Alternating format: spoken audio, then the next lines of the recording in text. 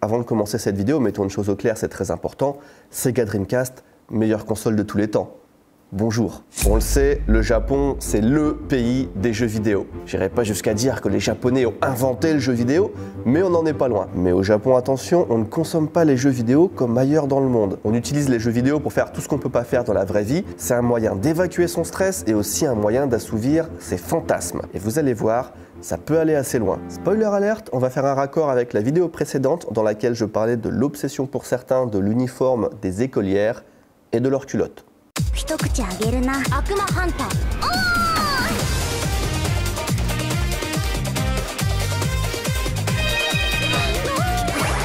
Cette vidéo est sponsorisée par Ankama à l'occasion de la sortie de la dernière mise à jour du jeu Dofus. Techniquement, c'est Dofus.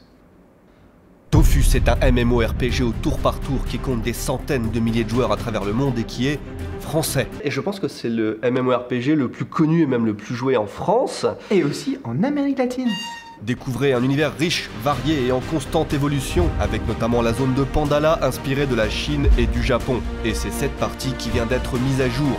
La refonte permet notamment d'obtenir un nouvel œuf de dragon, le Dofus tacheté. Cette zone devrait particulièrement vous plaire puisqu'elle vous plonge dans une ambiance japonaise avec ses mythes et ses traditions. Vous vous baladez entre temples, jardins zen et autres magnifiques paysages, tout ça dans un style coloré un peu manga animé qui... qui... Ben, c'est juste super joli en fait. Tout au long de l'année 2020, vous avez pu suivre l'évolution de Pandala et ce mois-ci, c'est la troisième et dernière partie de la mise à jour qui va vous permettre de découvrir deux nouvelles zones en plus de vous apporter de nouvelles quêtes et de nouveaux monstres inédits inspirés des yokai et de la calligraphie. C'est parti pour l'aventure. Rejoignez la légende. Dofus. Ah, c'est bien Dofus. En 1965, Namco sort le jeu Periscope. Un an plus tard, Sega en fait la première borne d'arcade. En 1967, c'est Taiko qui se lance dans la course avec Crown Soccer Special. Bon, d'accord, c'est pas vraiment des bornes d'arcade comme on les connaît maintenant. En fait, c'est plus un mélange entre jeux mécaniques avec un petit peu d'électronique. Mais c'est le début. C'est la première fois que le grand public accède aux jeux vidéo. La machine est lancée. C'était il y a plus de 50 ans et ils étaient déjà tous là. Namco, Sega, Taito, Nintendo aussi qui sort son premier pistolet d'arcade en 1970. Et dans les années 70 jusqu'au début des années 80, c'est l'explosion des bornes d'arcade. Le marché est partagé entre les Américains, avec notamment Atari qui a sorti par exemple Asteroid. Et de l'autre côté, les Japonais avec Pac-Man pour Namco, Space Invaders pour Taito, Donkey Kong pour Nintendo, et puis aussi les jeux Sega, les jeux Konami.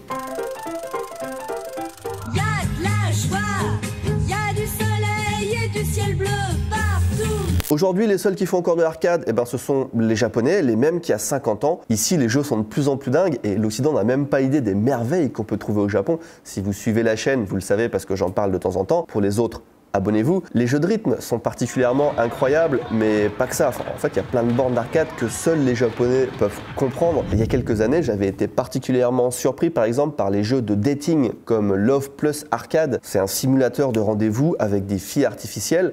Euh, J'ai pas envie d'avoir l'air de porter un jugement, mais euh, je trouvais ça quand même hyper triste euh, à l'époque. Au-delà de ça, ça me fait penser aussi, il y a un jeu qui s'appelle Aikatsu. C'est pas juste un jeu vidéo, hein, c'est tout un univers. Il y a, y a un animé, il y a du merchandising, tout ça.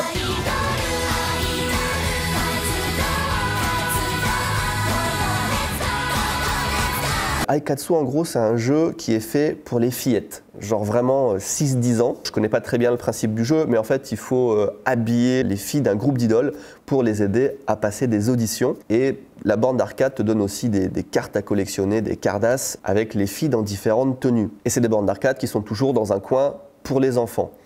Et ben, à chaque fois que j'en vois, à chaque fois, hein, il y a des adultes qui jouent dessus. C'est des hommes dans la vingtaine ou la trentaine, des fois un petit peu plus, et ça me met toujours mal à l'aise. T'as des filles qui font la queue pour jouer, elles sont hautes comme trois pommes, et entre deux, t'as des mecs euh, un peu chelous, désolé de le dire, mais 30-40 ans, enfin ça fait vraiment bizarre. Mais si ça marche autant, les bornes d'arcade et les game centers au Japon, c'est pour plusieurs raisons qui n'ont pas forcément à voir avec le fait que certaines personnes se sentent seules ou sont fans d'idoles. À mon avis, il y a deux grands facteurs qui expliquent ça. Le premier, c'est que les Japonais ont plus l'habitude de se divertir en dehors de chez eux. Les parties de FIFA entre potes à la maison, c'est pas vraiment la norme ici. En fait, j'ai l'impression que la maison au Japon, c'est juste pas un lieu où on s'amuse. Enfin, les enfants si, mais euh, pas les adultes. On boit dehors, on va au karaoké dehors et on va jouer aux jeux vidéo dehors. Pour beaucoup de jeunes adultes, le Game Center, c'est même une zone tampon entre le travail et la maison. La routine quotidienne, c'est travail, Game Center, maison. Pourquoi ça? Et ça nous amène à notre point numéro 2, c'est parce que le Game Center, c'est l'endroit où on va pour se déstresser. Les jeux vidéo, ça sert à se vider la tête avant de rentrer. Je suis sûr que pour plein d'hommes, c'est même le seul moment de la journée où ils peuvent faire vraiment ce qu'ils veulent. Surtout que ça se passe pas hyper bien à la maison dans pas mal de familles, donc les mecs soufflent après le boulot,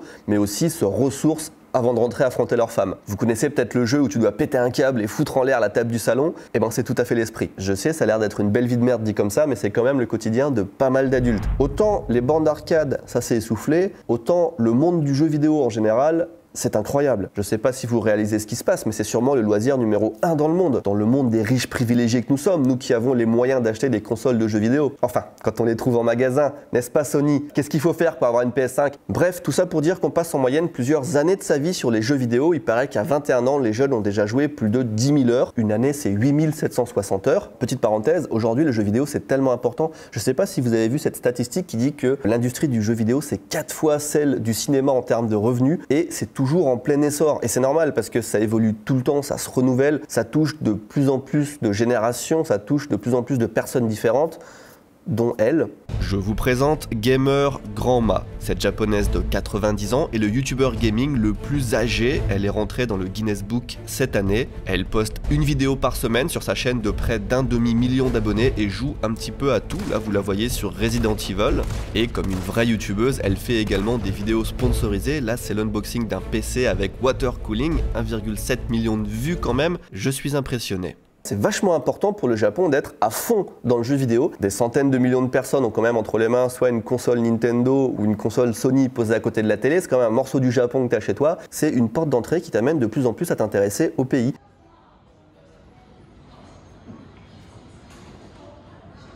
Donc le jeu vidéo, mine de rien, c'est bien plus important que ce qu'on pourrait croire à l'échelle d'un pays.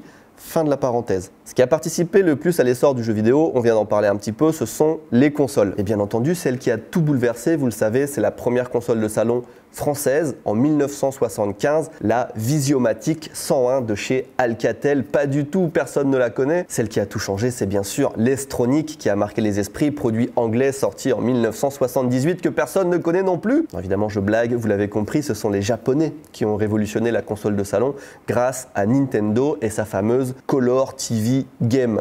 LOL, il y en a tellement des consoles qui sont sorties à cette époque, je pourrais continuer cette blague pendant très très longtemps. Mais non, le premier méga hit, c'est évidemment la NES, qu'on appelle Famicom au Japon pour Family Computer, sortie en 1983 par Nintendo. C'est vraiment celle qui a le plus marqué les esprits et qui s'est vendue en masse, plus de 60 millions d'unités vendues dans le monde. C'est plus de ventes que la Xbox, le GameCube et la Wii U réunies. Mais comme je viens d'en faire un petit peu la démonstration, c'est très loin d'être la première console de salon, c'est même une console de troisième génération. Il y a eu plein de consoles avant, il y a eu plein de consoles en même temps et il y a eu plein de consoles après. Si vous voulez, les consoles de jeu, c'est un des derniers domaines technologiques grand public dans lequel les Japonais sont encore un petit peu au-dessus. Il leur reste pas beaucoup. Ils se sont fait bouffer dans le domaine des télés, des ordinateurs, des smartphones. Il leur reste en gros les appareils photo et les consoles. Et même si aujourd'hui les consoles c'est surtout japonais, eh ben ça n'a pas été facile d'en arriver là. Tous les groupes d'électronique du monde entier ont tenté leur chance sur le marché des consoles. Pour certains, ça a marché un temps. Il y a eu l'Atari 2600 qui est sorti en 1977, 6 ans avant la NES et qui s'est vendu quand même à presque 30 millions d'unités. C'est assez énorme, elle est encore dans le top 20 des consoles les plus vendues entre la Nintendo 64 et la Xbox. Pour d'autres, ça s'est un petit peu moins bien passé. Vous vous rappelez de la pipine de Apple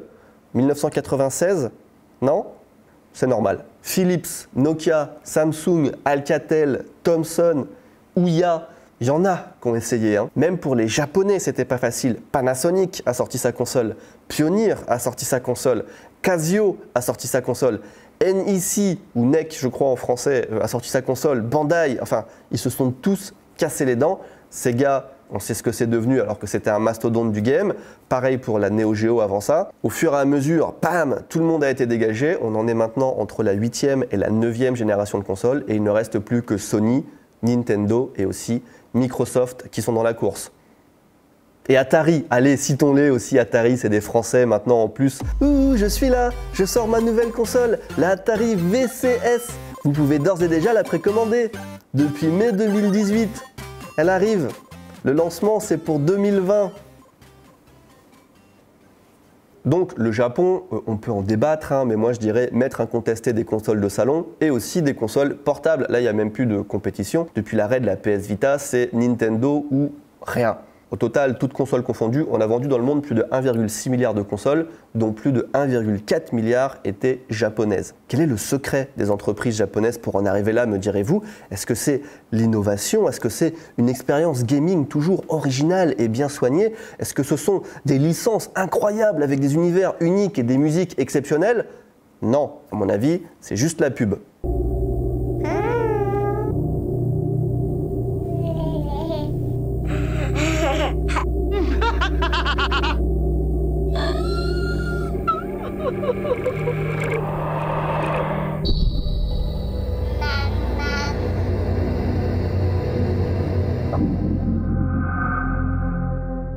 Bien sûr, vous allez me dire, le jeu vidéo, ça n'est pas juste les consoles, c'est surtout les jeux. Et là, il y a beaucoup plus de compétition. Dans les grands studios japonais, on trouve Sony, Nintendo, Bandai Namco, Square Enix, Konami, Sega, Capcom, donc ils sont là en force. Mais en face, il y a quand même des mastodontes. Il y a Rockstar, Activision, Bethesda, Blizzard, Electronic Arts, Ubisoft aussi en France en Kama, énorme compétition donc, mais encore une fois, même si ça se discute, euh, pour moi c'est quand même le Japon qui gagne, à qui a la plus grosse. Ce sont les studios japonais qui sortent les franchises qui durent le plus longtemps, qui sont les plus connus. Le mot mythique n'est pas volé pour la plupart d'entre elles, et euh, c'est eux qui vendent le plus de jeux et le plus de produits dérivés. Mario est la franchise qui rapporte le plus dans le monde, c'est 33 milliards de dollars depuis 1981, juste en revenu pour les jeux vidéo. Ça inclut pas les produits dérivés et tout le tralala. Dans moins de deux mois, le parc à thème Super Mario World ouvre au Japon au sein du parc Universal Studios.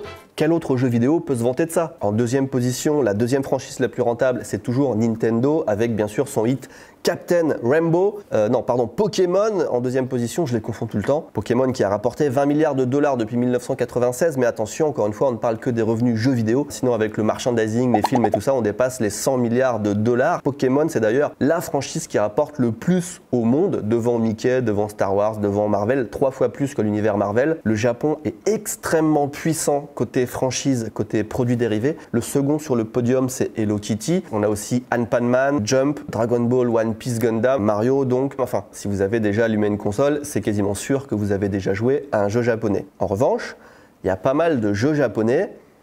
Je sais pas si beaucoup d'entre vous y ont déjà joué. Il y a un genre de jeu japonais qui est très peu exporté. Ils sont uniquement faits pour le marché intérieur. Et en fait, s'il n'y avait pas YouTube, je pense que très peu de personnes en entendraient parler en dehors du Japon. Je ne veux pas parler évidemment de Captain Rainbow, mais des jeux euh, de fan service. Alors c'est pas un type de jeu vraiment le, fan service, hein. ça englobe aussi bien des jeux de, de combat, des FPS, euh, des puzzles, des visual novels beaucoup. Dans tous les cas, le concept c'est qu'on mate des filles sexy, jeunes, quasiment à poil.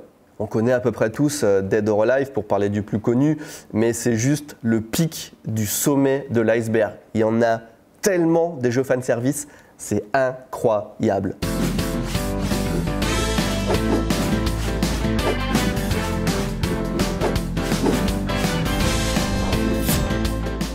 Voici un premier exemple avec Schoolgirl Zombie Hunter qui allie jeune fille sexy et violence, une combinaison qu'on retrouve très souvent dans ces jeux japonais. Le principe c'est que plus tu avances, plus tu te prends des dégâts et plus la fille se retrouve à poil. On a aussi Bullet Girls, ici l'épisode 2. Le principe, c'est que plus tu avances, plus tu te prends des dégâts et plus la fille se retrouve à poil. Je vais pas tous vous les faire parce que, comme je vous l'ai dit, il y en a énormément, mais je dois quand même vous parler de Mister Mosquito. On se balade dans la peau d'un moustique pour aller espionner des filles nues et pourquoi pas sucer leur sein. Et alors là, on est sur du winner. Natsuhiro High School Seishun Hakusho, sorti juste au Japon encore une fois sur PS3 et PS4 en 2015. Il est vendu comme un jeu d'infiltration et d'action-aventure inspiré de Skyrim. Vous l'aurez deviné évidemment, le but du jeu c'est de prendre en photo la culotte de jeune fille sans se faire repérer.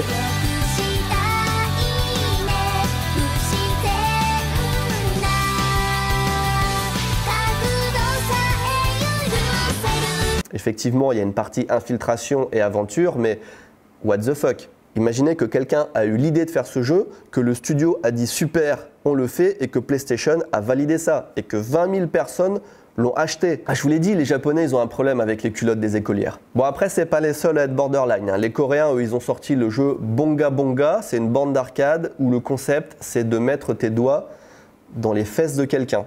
Non, c'est un peu abusé. En fait, ce serait marrant s'il n'y avait pas déjà ce genre de problème dans la société, quoi. Les Japonais, ont tellement poncé le sujet des filles sexualisées et de la romance qu'ils en sont arrivés même à sortir un simulateur de drague avec des pigeons.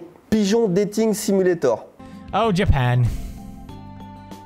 Ça va loin dans les jeux de niche hein, quand même. Et encore, je vous passe tout ce qu'on trouve dans les sex shops avec des jeux connectés en VR ou des, connectés à des sextoys, etc. Il y, a, vraiment tout un monde là-dedans. Euh, mais les trucs bizarres, les Japonais ils connaissent bien. Je ne sais pas si vous vous rappelez par exemple de Seaman, l'homme poisson.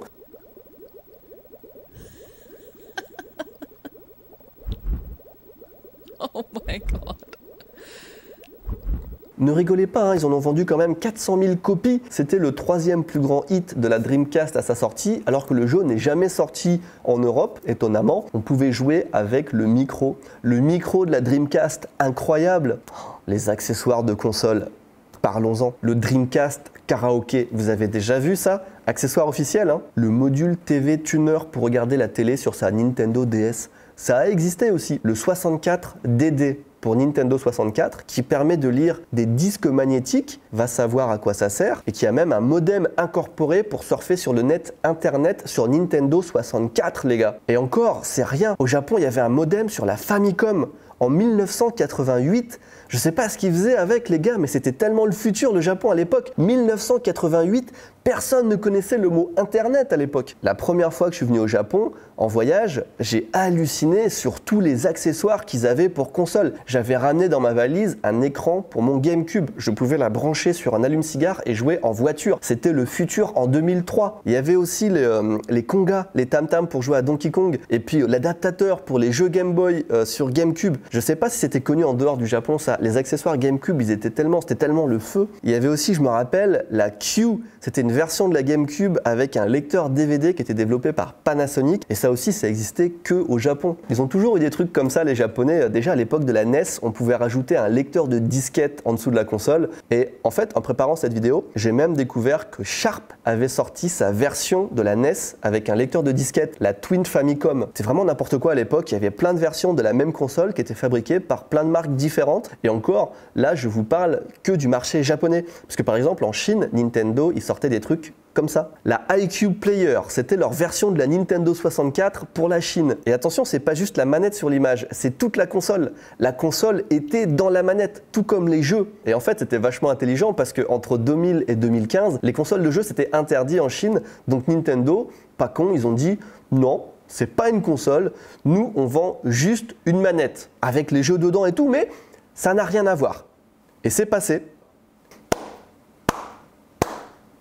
Alors je sais, on parle beaucoup de consoles là, et le jeu vidéo, ça n'est pas que ça non plus. Et au Japon, c'est la même chose. Les ventes de consoles et de jeux physiques sont encore en hausse. Animal Crossing peut remercier la pandémie, hein. mais le marché à prendre aujourd'hui, c'est clairement celui du smartphone. Est-ce que vous connaissez Gungo, plus gros studio de développement pour jeux smartphone, enfin rectification, plus riche studio, pas forcément le plus gros. Il était même valorisé en bourse au-dessus de Nintendo à un moment. Eh ben, c'est japonais. Ils ont développé notamment Puzzle and Dragons, euh, Puzzle Dragons, hein, sans mon accent de merde. Euh, premier jeu mobile à dépasser le milliard de revenus. Ils ont amassé pas loin de 8 milliards maintenant. C'est plus que Candy Crush, plus que Clash of Clans, plus que Fortnite. C'est pas loin de trois fois ce qu'a rapporté Minecraft. Mais Puzzle et Dragons a été détrôné il y a peu par Monster Strike, qui est un jeu qui lui a rapporté encore plus d'argent. Lui, il a dépassé la barre des 8 milliards de revenus. C'est développé par Maxi, qui est un studio japonais. Et ouais, ils sont là aussi les japonais dans le marché du smartphone. Il n'y a pas que les américains et les chinois. Dans le top 10 des jeux les plus rentables sur smartphone, on retrouve aussi évidemment Pokémon Go, hein, sans grande surprise, puisque c'est le jeu le plus téléchargé du monde. Plus d'un milliard de téléchargements quand même, c'est incroyable. Et il y a aussi dans ce top 10 euh, Fate Grand Order, qu'on va appeler FGO. Et ce qui est surprenant avec FGO, c'est qu'il a été téléchargé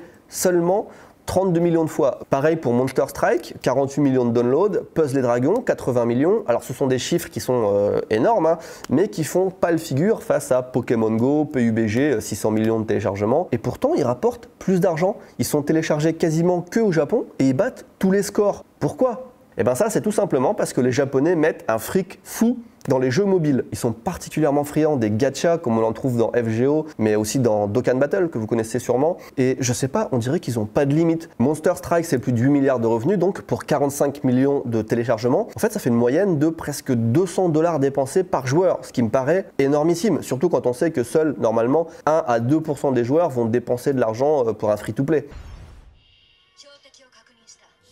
大悟です FGO プレイヤーです 大体起きてる時は触ってるみたいな感じ。ご飯食べてる時もお風呂と寝てる時以外は大体あと車運転してる時以外は触ってると思うんですけどね。多分700万ぐらいは それ以上してると思いますけどもうそれ以上はもうあんまり考えないようにししてますね Bon, enfin, dans tous les cas, les Japonais ont été euh, très très lents à se mettre aux jeux smartphone. On se rappelle de Nintendo, par exemple, qui était même violemment opposé à ça. Mais maintenant, ils sont bien installés, euh, surtout parce qu'ils ont pu exploiter leurs grosses licences, hein, Pokémon, Mario, Dragon Ball notamment, et parce que les Japonais ont des poches euh, assez profondes. Et les jeux PC dans tout ça, ils en sont où les Japonais Eh ben voilà, il n'y a rien. Les Japonais, ils jouent pas sur PC, ou alors très peu. Je vous l'ai dit, les Japonais, jouent surtout dehors, donc dans les Game Center ou sur smartphone quand ils sont dans le train. Attention, il y en a hein, des Japonais qui jouent sur PC, il y en a même qui ne quittent pas leur chambre hein, pour jouer. Euh, Japon, pays des extrêmes, hein. si tu fais un truc, tu le fais euh, à fond. Petit exemple hein, pour illustrer ça, vous connaissez certainement euh, les chaises gaming ou euh, les bureaux gaming. Eh ben les Japonais, ils en sont au lit gaming.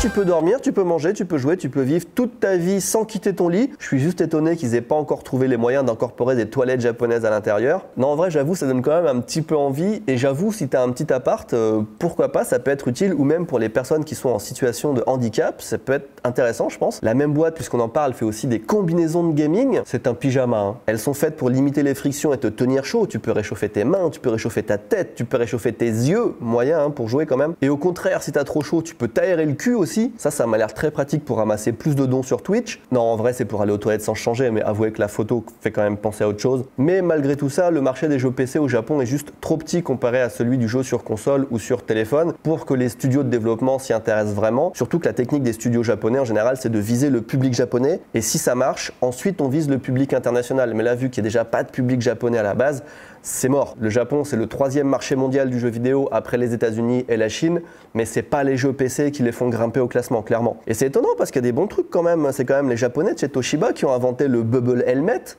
Ils avaient tout pour réussir euh, sur PC avec ça, non? Sur YouTube, par contre, euh, parlons-en puisqu'on utilise tous cette plateforme et on va conclure là-dessus, il y a beaucoup de contenu euh, jeux vidéo au Japon. Et parmi tout ce contenu, il y a un genre de vidéo que j'ai noté particulièrement parce que c'est tellement japonais. Ça s'appelle bagu, ce qui veut dire glitch en japonais. Et le concept, c'est de commenter de manière sérieuse des rencontres euh, sportives, euh, le plus souvent, qui sont complètement buggées. C'est dur à comprendre, mais euh, voilà ce que ça donne. 大会ということで我々の想像を圧倒的に超えてきますさあそしてこれは水泳ダブルスということでよろしいんでしょうか さああとそして水泳自由形パラパラダブルスで行われている。さあそして今ゴールイン1着の選手です。ああそして後続のパラパラ勢が Regardez ça à plusieurs, je vous promets, c'est hilarant. Euh, si vous parlez japonais, évidemment. D'ailleurs, les jeux vidéo, c'est un très très bon moyen d'apprendre le japonais. Voilà, c'est tout pour moi. Merci d'avoir regardé cette vidéo. J'espère que vous avez appris un ou deux trucs. Merci aussi à Ankama d'avoir sponsorisé cette vidéo. N'oubliez pas le lien Dofus hein, dans la description. Je vous dis à très bientôt et si on se revoit pas d'ici là, je vous souhaite de très bonnes fêtes de fin d'année. Bye